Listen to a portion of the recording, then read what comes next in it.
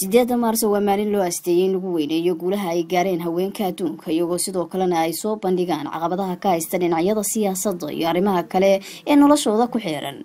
Magaalada garowe caasimada dowladda puntland ayaa lagu qabtay xuska maalinta caalamiga ee sideedda maarso. Munaasabadan waxaa ka soo qeyb galay madaxweynaha dowladda puntland mudane siciid cabdulaahi deni iyo xubno ka tirsan golayaasha dowladda puntland sidoo kale waxaa munaasabada iyaguna ka soo qeybgalay qaar ka mid a hay'adaha ay bahwadaagta yihiin wasaaradda horumarinta haweenka iyo arrimaha qoyska gudoomiyaha dalada ururada bulshada rayidka ah ee puntland qaar ka mid a saxafiyiinta ku dhaqan garoowe haween dhalinyaro iyo bulshada qeybaheeda kala duwan.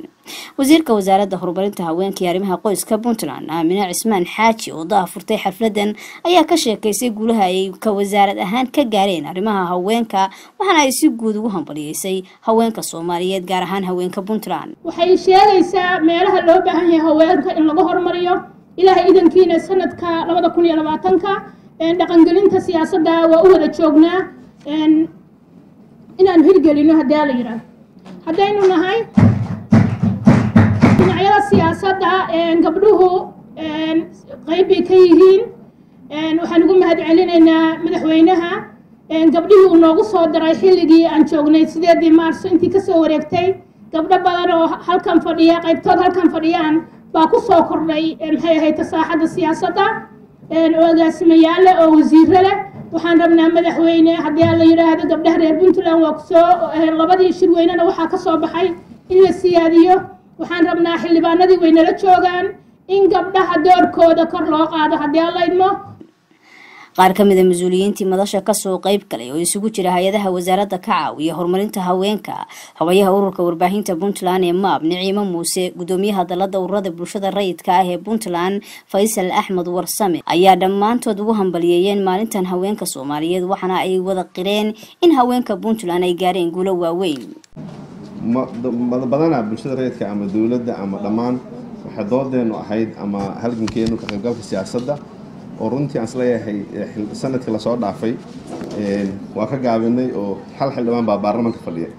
Waa arrinta ugu weynsan oo aan isleenahay wax shaqada ugu badan aan qabanay iyo loobinkeeni wuxuu dhalay hal gabar inay baarlamaanka gasho. Ugu horeyn waxaan u mahadnaqayaa wasaaradda haweenka ee wasiir aamina hogaaminaysa iyo tiimkeeda oo nagu sharfay inaan kala soo qayb galno kulanka muhiimka ah.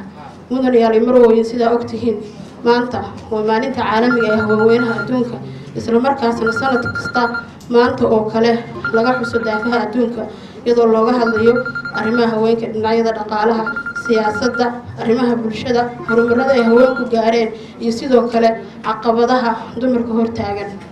Halkaas waxaa fadhiya konton guriyaal ah oo wiilal iyo gabdho isugu jira oo socod ka soo bilaabay wasaaradda maaliyadda halkana ku yimi waxaan uga gol leenahay maadaama ay maab ka mid tahay ururada warbaahin ururada bulshada islamarkaasina uu yahay urur warbaahineed oo rag iyo dumarba ay ku jiraan inaan awood siino oo xoojino haweenka warfidiyeenka ah si ay ugu qareemaan islamarkaasina ay uga qayb qaataan horumarinta haweenka intooda kale ugu dambeyntiina madaxweynaha dowladda puntland mudane siciid cabdulaahi deni ayaa maalintan ugu hambaliyeeyey haweenka soomaaliyeed gaar ahaan haweenka puntland. Madaxweynaha ayaa sheegay in puntland ay horumar ka gaartay in sharciga la hor keeno. Kuwa dhibaatada u geysta haweenka dhinaca kalena madaxweynaha ayaa ballan qaaday in dowladda puntland ay ku dadaaleyso sidii ay haweenka cadaalad u heli lahaayeen. In sanad walba la xasuusto si gaar ah sida wasiiraddu sheegtay la milicsado sannadkii tegay waxa soo qabsoomay lana qorsheeyo sanadka soo socda waxaa la rabo in la qabto. Runtiina dadka reer puntland si dhow ayay dumarkooda u qadariyaan wayna ka muuqataa horumarka ay gaareen. Puntland meelaha horumarkii ka gaartay waxaa ugu badan dhinaca caafimaadka iyo waxbarashada iyo kobaca dhaqaalaha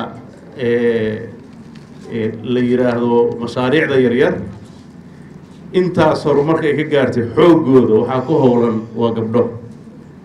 Marka horumarka puntland ay ku faanayso xooggiisa waxaa iskale gabdhaha wayna ku ammaanan yihiin waana ku hambalyen aad ogtihiin marar badanna la yidhaahdo bulsho horumarkeedu wuxuu lafdhabar u ah haweenkeeda waa xaqiiqo jirta. Waxyaabaha sannadkii tagay aada u soo noqnoqda waxaa ka mid ah tacadiyada foosha xun ee loo geysta gabdhaha khaasatan kufsiga oo runtii ku noqotay mahadho dadka reer puntland dadka soomaaliyeed aada u xanuun badan oo ay weheliyaan weliba dil. Waxaad ogtihiin kayska caasho ood markhaati ka tihiin inuu si hufan ku soo dhammaaday.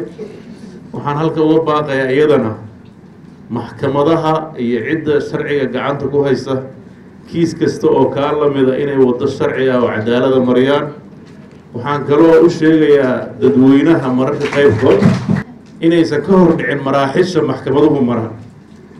Waxaad ogtihiin caaisho sidaas oo kale waxaa loo oran jiray keyskeeda waa la musuqmaasuqay waxaana dhacay kanaa dhacay.